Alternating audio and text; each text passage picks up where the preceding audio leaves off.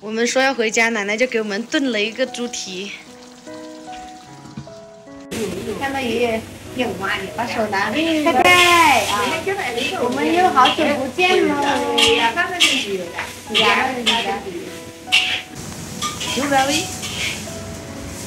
九百位，九九，好会 哟，好会哟，好。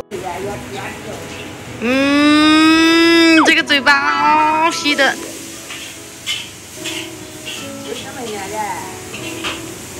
啊，噻，叶小妹那样弄着玩，那么一年那年养老啊？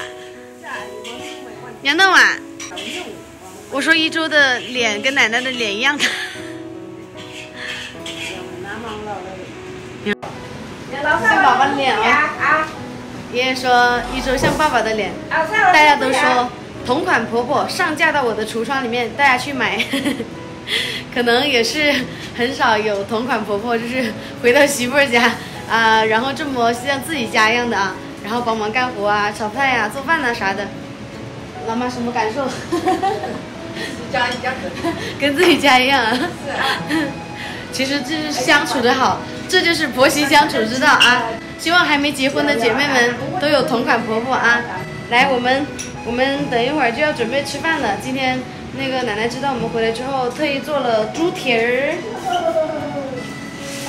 哇，还有腌肉啊，腌鸭肉。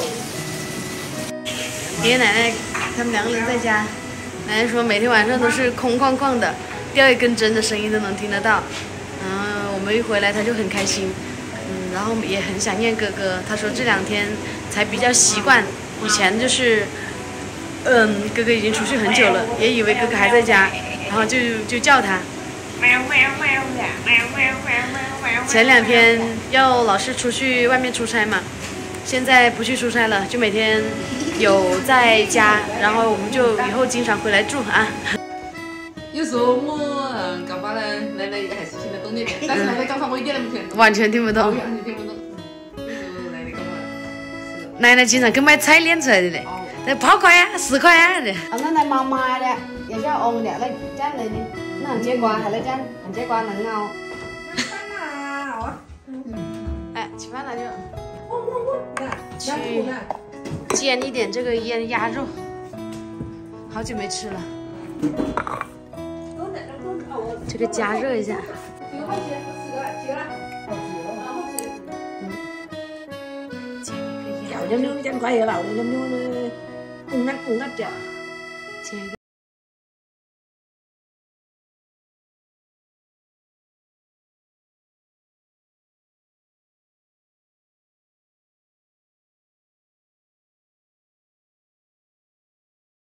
红啊红啊